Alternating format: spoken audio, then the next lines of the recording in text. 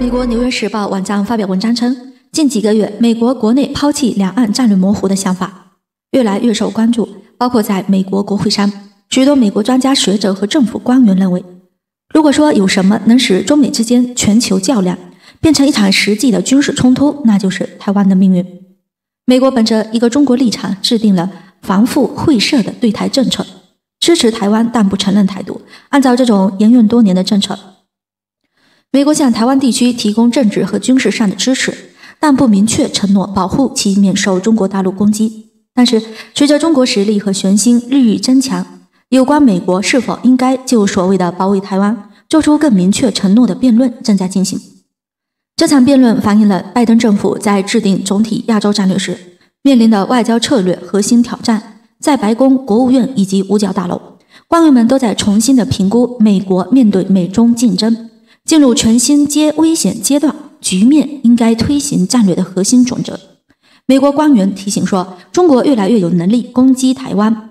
美国长期以来一直不愿说明会如何的应对这种袭击，尽管华盛顿通过外交联系、军售坚定措施，甚至偶尔的军演来支持台湾，但没有做出保证，没有任何声明、原则或安全协议要求美国必须救台湾。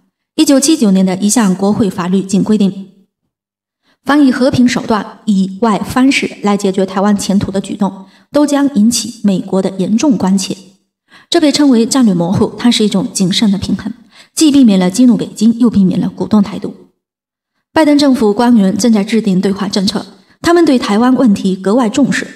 美国现任外交学会会长理查德，在布什政府时期的国务院政策规划主任，他于在外交杂志上发表了一篇文章。宣称战略模糊已寿终正寝。之后，他参与发起了关于这一主题的对话。他表示，美国是时候推出战略明确的政策了。只要中国大陆对台动武，美国就会做出反应。这样的政策会降低中国大陆误判的可能性。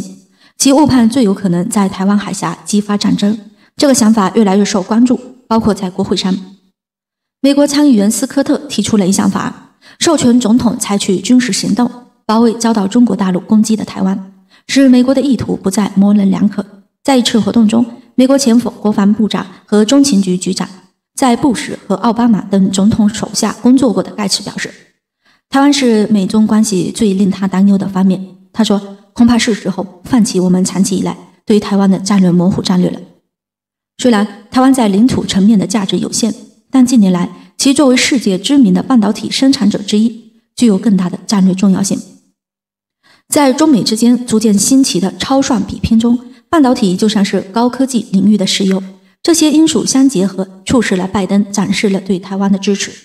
一些专家称，这种展示非常强劲有力。但是，美国战略与国际问题研究中心中国力量研究项目主任格莱伊说：“我认为大家正在拼命地告诉大陆，别误判，我们坚决支持台湾。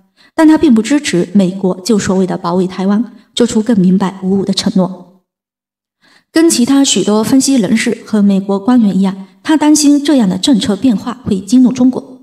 那样一来，也许没有回旋的余地，那可能真的会导致中国大陆做出进攻的决定。国台办四月十四日上午举行例行新闻发布会，发言人马晓光回答记者提问。有记者问：吴钊燮日前对外媒称，美方认为大陆对台动武的可能性很高，如果发生战争，台会战斗到底。美国务院发言人随后又重申所谓的对台承诺，并指责大陆对台进行了所谓的武力胁迫。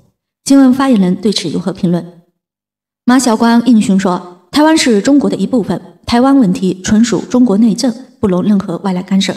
我们愿以最大诚意、尽最大努力争取和平统一，但绝不会各为了各种形式的台独分裂活动留下任何空间。我们不承诺放弃使用武力，保留采取一切必要措施的选项。”针对的是外部势力干涉和极少数台独分裂分子及其分裂活动，绝非针对台湾同胞何来武力胁迫之说。马晓光表示，当前台海局势复杂严峻的根源是民进党当局与台独分裂势力勾连外部势力，不断进行谋独挑衅，美方颠倒是非，渲染所谓的中国军事威胁论调，持续的向台独势力发出错误信号，居心险恶，既对台独分裂活动推波助澜。也给岛内民众带来更多的负担和灾难。最终利益受损最大的是台湾民众。我们敦促美国政府恪守一个中国原则，和中美三个联合公报规定，妥善处理台湾问题。民进党当局的一些政客顽固坚持搞台独分裂，挟洋自重，时常口出狂言，不自量力，难逃历史的惩罚。无论是外部势力以台制华，还是台独势力以武谋独，有十四亿的中国人民遏制台独、捍卫国家主权与领土完整的坚强的决心，与强大能力面前注定失败。中国最大的麻烦不是别的，而是台湾问题。一是台湾割据政权存在太久。放任台独做大，民众会被其严重洗脑，在情感上与中华民族渐行渐远，对一个中国的认同感越来越差，真有些时不我待的紧迫感。二是美国一直保持着和台湾的关系，随时给台独分子发出错误信号，尤其特朗普执政以来，台独分子极为嚣张，拜登政府则更进一步，用实际行动给台独分子撑腰打气。大陆尽可能避免武力统一，怕伤及台湾人民。一直以来，在美国的错误信号的诱骗下，台独势力误解了大陆迟迟不武统的意图，总以为大陆忌讳美国插手，但如此的拖着，真不是个事。俗话说：“砍了树，免得老鸭叫。”统一了台湾，美国没了抓手，第一岛链也随之消失，周边也会清静许多。当然，统一后如何治理，确实是一个大考验。但香港的故事绝不能够重演。某种意义上讲，千条万条两岸统一是免去敌对势力、不断制造麻烦的最根本的一条。目前，美军在台海周边炫耀武力，调动力量，寻找机会，中国可以将计就计，制定并实施一系列防止美国突然制造冲突的过程中布局武统，以便随时的捕捉机会，一击成功。中国的北斗系统的精准定位能力不亚于 GPS。密集的火炮精准打击对大陆而言不是难题，只要第一时间打掉台独的军事设施和指挥中枢，让他彻底的失去反抗能力，相信台湾人民是会做出明智的选择。台湾统派人士也会有所作为。最近，统派人士洪秀柱女士入驻头条，深受网民的欢迎，但她却幼稚的劝导大陆放弃武统，说武力统一后，台湾是一个残破的台湾。她不理解。武统就是一把高悬的宝剑，是保障台湾和平统一的最后屏障。如果台独分子执迷不悟，这柄宝剑迟早是会刺下来的。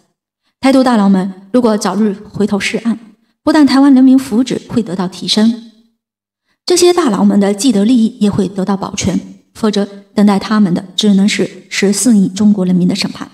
中国只要坚定、充满信念、勇敢地迎接任何挑战。不犯重大的战略错误，道路是曲折的，前途是光明的。中华民族的伟大复兴不可阻挡，中国人民过上更好的日子的愿景必将实现。美国已经无法逆历史潮流而动，无法违反国际大势而行，已经无力保护台湾了。这才是历史的真实。台湾问题走到今天，体现了中国政府的善意与耐心，体现了中国政府对台湾民众的关切与尊重。体现了中国政府希望通过战争以外的途径解决国家统一问题的政策导向，但是这个前提必须是一中，这个一中的前提是底线，是红线，是不可逾越的。